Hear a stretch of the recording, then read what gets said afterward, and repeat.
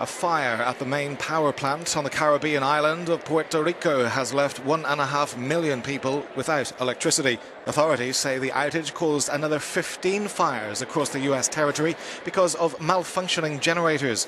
Heavy storms have been affecting the area where the power plant is located on the south of the island.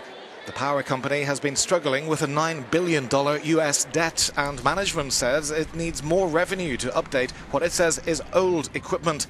The blackout brought traffic chaos and many train services in the capital San Juan were cancelled.